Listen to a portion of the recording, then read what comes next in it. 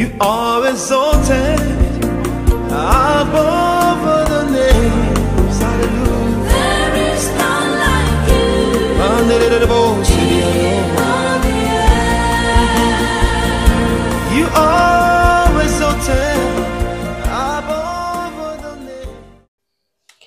Hello, a very good day to you. My name is Sister Temi Temitayo. I'm a Christian content creator, and I'm here once again to share from the Open Heavens daily devotional compiled by the General Overseer of the Redeemed Christian Church of God, Pastor E.A. Adeboye. And the reason I'm sharing from this particular Christian book is because the Lord instructed me to do so as I prepare to enter into the year 2020. So, this is my fifth year of sharing from the Open Heavens, and that's why we call it season five. And all those videos from 2020, they are all loaded on my YouTube channel. My handle on YouTube is Temi Aghedo, which is right on the screen. I will encourage you to visit my channel, not only to view the old Open Heavens videos, which are a great study guide, but most importantly, to view the Open Heavens for the current day. And I know that will bless you exceedingly. And while you're on my channel, don't forget to subscribe. And the Lord bless you as you do. Subscribe, like, comment, and share. And God bless you. Now, Pastor Adeboye led me to Christ in October 1997, a few years back when I was in the University of Lagos, Nigeria, in West Africa. And Pastor gives you a few scriptures from the Bible and a memory verse, and that helps you to understand the body of the text. Praise God. So today is Sunday, January the 21st. And I know many of us are gathered in church today, you know, for the service. And I want to say th- big thank you to the pastors for allowing me to share the open heavens with their congregation. God bless you, sirs and ma.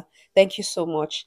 Um, so we're continuing today's Sunday, January the 21st, and um, the title again is God's Best Friends, Part 3. God's Best Friends, Part 3. So this is a four-day series, so we're going to round up tomorrow. Of course, I will encourage you to view the other videos, uh, other open heaven, so you can have a, a well-rounded understanding of what the Spirit of God is teaching us. Now, this topic is very, very similar to the topic we shared in December titled God Has Favorite. This is titled God's Best Friends, Part 3. And that one, uh, the topic we shared was God Has Favorites. And then there was um, a, a another a follow-up called Peter the Rock and then John the Beloved. So those were God's favorites. And um, so I, I, I think we'll, we'll get the pop-up so you can watch those videos as we'll give you a bright, wider understanding God's best friends. Now, in part one, Pastor was um, talking about you know God's best friends, you know, and how Abraham was um, believed God and was accounted unto him for righteousness, and was called the friend of God. And he, Pastor mentioned other people like Moses, you know, one with whom I speak face to face, um, and uh, John and Peter. And then yesterday we spoke about Enoch. You know, Enoch was that was amazing. Um, and today we're going to be looking at First Corinthians chapter 3, verses 5 to 9. Yesterday, Pastor was saying that um the people that are God's best friends are those who who um have who have great faith, who have um who who who use their faith, who exercise their faith. Those are people that were that have been classed as God's friends. And father of faith is definitely Abraham. I mean, there's his faith is, you know, changed his name from Abraham to Abraham, you know, at hundred years old. That is real raw faith. Praise God. God's best friends, part three. And our scripture reading today is taken from the book of First Corinthians, chapter 3, verses 5 to 9. First Corinthians, chapter 3, verses 5 to 9. And I'm going to be reading from the New King James Version. And thus goes the reading of God's word. First Corinthians chapter 3, verses 5 to 9, just five verses. And thus goes the reading of God's word. Who then is Paul and who is Apollos, but ministers through whom you believed, as the Lord gave each to each one? I planted, Apollos watered, but God gave the increase. So then, he who plants is so so then neither is, neither he who plants is anything, nor he who waters, but God who gives the increase. Now he who plants and he who waters are one, and each one would receive his own reward according to his labor. For we are God's fellow workers, ye are God's field, and you are God's building. Okay, so mm, we, we know the, the verse that is very popular is that I planted Apollos water, but God gave the increase. So then he that he he that plants, neither is he anything, nor he that waters, but of God who gives the increase. I planted, Paul was talking, said, I planted, Apollos watered, but God gave the increase. So, what he was rebuking the Corinthians about is that, you know, some will say, Oh, I'm of Paul and I'm of Apollos. And he says, You, you are uh, you are still carnal for where there are this the verse 3 if eh, a, a verse above it says for you're still carnal for where there are, there are envy strife and divisions among you are you not carnal and behaving like mere men? For when one says i am of paul and another i am of apollos are you not carnal and we see this a lot today you know where uh, people think that my pastor is the only pastor every other my pastor and others you know um and they think oh um my pastor is the best pastor you know. It, it, should, it should not be like that. My church is the best church. Every other church they don't they are all fake. It's only my church that is you know that's paul is saying that you are carnal. He says i'm of apollos. Somebody says oh i'm of um this this church and i'm of that church. Forgetting that both Paul and Apollos or pastor this or bishop that all are being used by God for the for, for the growth and um, the Christianization of the nations of the world for for the gospel of our Lord Jesus Christ. So you you if you are saying, oh my church, I, my my bishop is the you know you feel like you always it's just about your you know your leader your every other person is not a man of God or a woman of God just your own pastor you are carnal. You are carnal. Oh, he's the only good pastor. He's the only one I. Tr- no, no, no. Um, Paul of Apollos. You are still carnal. That's what the Bible says. Who then is Paul and who is Apollos? But ministers through whom you believed, as the Lord gave to each one. You know. So um, somebody said there are going to be surprises in heaven because the people that you expect to see will not be there, and the people that you do not expect to see will be there. Okay. So God used Paul, God used Apollos, God is using Pastor Adeboye, God is using so many other men of God. You know, this is what Elijah thought. Elijah thought that, oh, I'm the only one that is left. All they have killed all your prophets, all of them are gone. I'm the only one. I only, you know. Um, and God said to him, No, no, I have 7,500 prophets who have not bowed the knee to bow you know so you're not the only one serving and that's a form of pride you think that you are the only one nobody besides you you are the hero no you know so he says neither he that plants is anything nor he that waters but god who gives the increase. Amen. God's best friends part 3 hallelujah. Now the memory verse is titled is, is from matthew chapter 6 verse 10 thy kingdom come thy will be done in earth as it is in heaven. Thy kingdom come. So jesus' prayer our lord's prayer what we call our lord's prayer you know um, thy king Jesus was praying that thy kingdom come, thy will be done on earth as it is as it is in heaven. So the focus here is the kingdom of God, God's eternal plan for mankind. That's that was Jesus Jesus's focus. The pastor says many people want to be one of God's best friends, so that whenever he, they ask him for something, he will do it for them immediately. This is surely one of the benefits of being God's best friends. However, those who really become such care more about him than they care about themselves. So some people want to get close to God, they want to get close to God. So when they ask God for anything, He will answer. And that's true. When you the closer you are to God, when you ask Him for anything, He will do it immediately. But God is bigger than what He gives. That is saying here that the people that are going to be God's best friends are those who care more about God than themselves. It's, it's not about, you know, what God can give. God is bigger than what He gives. You know, don't look for what is in his hand, look for what is in his heart. You know, so the priorities of a man are known from his prayer, from his prayer points. If your prayer points are always selfish, God will not make you one of his best friends. In fact, he will not answer your prayers when they are born out of your lust. You know, James, that's in James 4 3, where he was saying, You ask not you you and you receive not because you you ask amiss that you may feel it on your lust. So um some people just oh just praying for husband just lord let me get married. That's the prayer point the fasting. It's all about i must marry. I must not once have they prayed for the kingdom of god. Not once have they prayed that the gospel will go around the world. It's about my child. I want a child. God this year don't let it pass me by. Don't let me be ashamed. Don't let me it's always just about you those are selfish prayers. And such people um cannot be God's best friends. You know, in, uh, do you understand? So God's heartbeat, what, what is paining God is what must be paining us. Amen. What is what is on God's heart? What is on God's heart is what, you know, if we want to become God's best friends, we must be touched by the feelings of his own infirmity. In other words, what is hurting God? What is what is uppermost in his mind right now are the things that should touch me. Pastor was saying that people that are going to be God's best friends are people that their own needs are secondary. is what is on the heart that I may do all that is in God's heart. God said, I'm going to raise me a faithful priest hmm, who will do all that is in my heart and in my mind. Amen. And that's what I want. That's what he said about Samuel. That I'm going to raise a, a they that honor me, I will honor, and those that like me, those that despise me will be lightly esteemed. And he was going to raise a priest who will do all that is in his heart and in his mind. God has an agenda. And when we seek first the kingdom of God and his righteousness, all of those other things will be added to us. You understand? Let's make God's business our business, and then he will make our business his business. You know, so if your prayers are, are your prayers selfish, it's only about this husband, this husband praying and fasting, sowing huge seeds, you know, for this man. Why don't we take our focus off that and look unto God and follow him and do all that is in his heart and in his mind? And then we become God's best friends. And all other things, including the child and the husband and the wife and the car and all the other, other things will be, will be added onto us. Let's partner with God.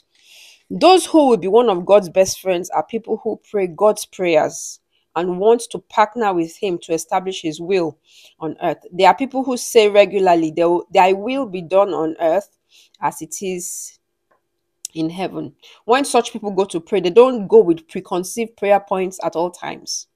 They make a habit of going into His presence with a burden to hear from Him about what He wants to be done on earth and to pray those things into existence. It's um you know it's more about um lord what would you have me do? Thy will be done on earth as it is in heaven. What do you understand? God's it, it's it's more god the focus is god and not their needs and not our needs if we want to become god's best friend you see because if you have a friend who only comes to you to you know when they need they're close to you because what they can get from you that's not a balanced friendship you understand? But when somebody is your friend and they love you for who you are, and um, and what is paining you is paining them. When you cry, God, you know, they, they feel your pain. That they are your friends, you know. They may not have anything to you know, they, they are just there for you. That you're they are, they are more concerned about what is in your heart, your friendship, and what they can get from you. I, um, I okay, I'll give it a, a short testimony. Even now and then, God needs someone to stand in the gap for his people. He needs someone to pray about a particular situation so that he can have the legal right to step into that situation. If you're an intercessor, always willing to pray God's will into existence, he will draw you closer to himself. He will tell you tell you things that he usually doesn't tell others and show you sides of himself that others don't see. He will even reveal his burdens to you. Only those who are willing to share in God's burdens can become one of his best friends. I remember um um Reverend Chris, he, he gave a testimony about how one day, you know, he was praying. And as he began to pray, the Lord appeared before him, you know, and began to talk to him. And then he noticed that the countenance of the Lord was saddened. And he said, Lord, what is it? And the Lord said that, you know, um, after all he had done on the cross, that his people were still being oppressed by sickness. And God gave him the task to begin to take healing to the nations.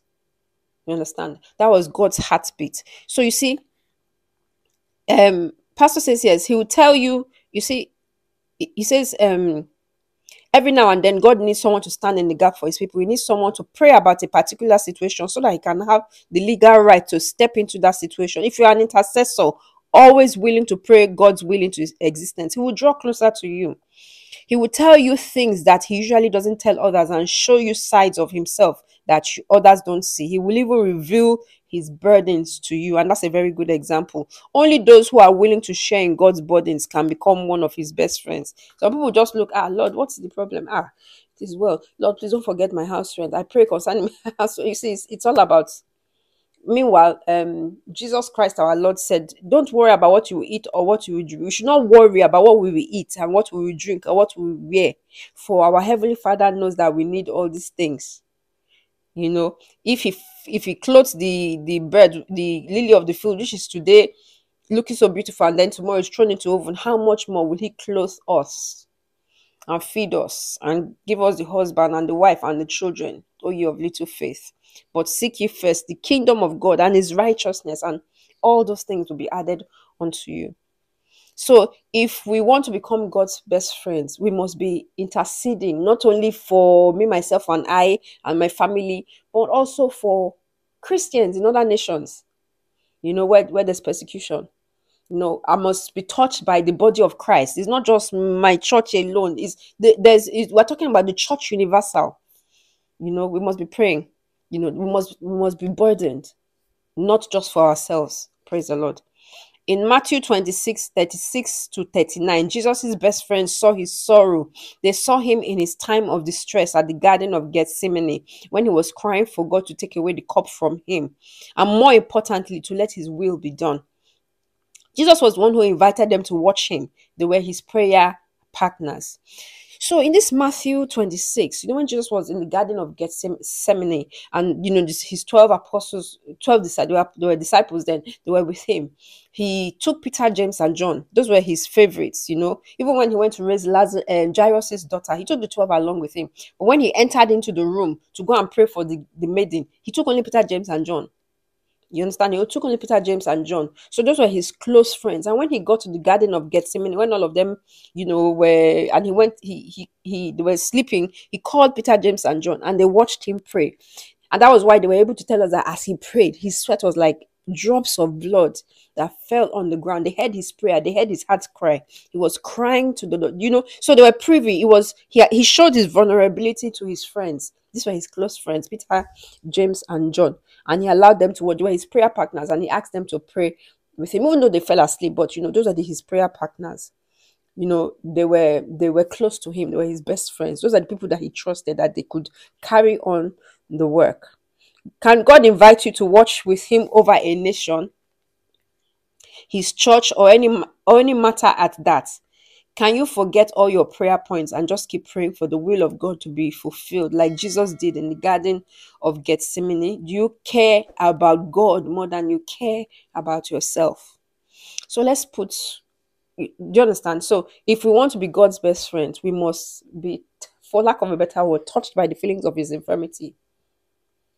You know, you know, um, in heaven, when there was no one to open the, the book, you know, um, John began to cry, and, and the angel said, Weep not, the lion of the tribe of Judah has prevailed. You understand? So we must be touched by the feelings of his infirmity. Praise God. The prayer point is pray for the body of Christ with specific reference to Christians facing persecution across the world. You know something? Hmm. In Nigeria, in northern Nigeria, Christians are being killed. They're, they're being killed. Um, and you know we just feel that oh maybe the people in the south you know it doesn't touch us you know. So ah god help them oh god help them. But you see there's something that mordecai said. He said don't think you shall escape in the palace where you are. For if you do not uh, you know if you do not rise up for the deliverance of the, is for israel god will raise help from another place. So don't we mustn't get too comfortable because if or if we don't pray for jerusalem and for israel we think ah it's far away. You know god always you know god will always help them you know because they are you know the jewish nation. If we don't pray for them we think that we escape where we are you know we must pray for the peace of Jerusalem and pray for the body of Christ with specific reference to Christians who are facing persecution across the world. Let's pray. Thank you, Heavenly Father. In Jesus' name, Heavenly Father, we thank you, Almighty God. Thank you because you are Lord. Jesus is Lord in heaven, on earth, and under the earth. We thank you because you have given Jesus Christ the name above every other name. Father, we pray for Christians all around the world who are facing persecution in India, in Nigeria, in northern Nigeria, from people that hate the, the Lord. We pray, Almighty God, that you protect them, that your hand of protection will be upon the body of Christ in the mighty name of Jesus Christ. Father, every plan of the wicked, Almighty God, to attack churches, to persecute Christians, Father, we ask Almighty God that the Spirit of God will raise up a standard against them in the mighty name of Jesus Christ. Father, Lord, we bring their evil plans to naught, that they are exposed in the mighty name of Jesus, and that there's confusion in their camp. In the mighty name of Jesus, we pray for the peace of Jerusalem.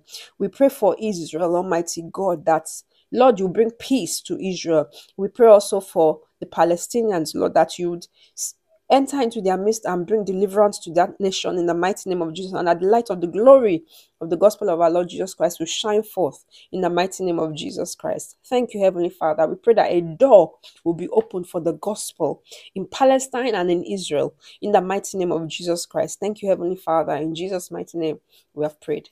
Amen and amen. Thank you so much for taking time to listen to me. God bless you. I've gone over my time. Thank you, Pastor, for sharing this daily devotional in your church. God bless you, sir. God bless you, ma. Thank you. I really appreciate. And while you're on my channel, please don't forget to subscribe and have a beautiful service. I look forward to seeing you tomorrow. My name again is Sister Temitayo, and God bless you. Have a nice service.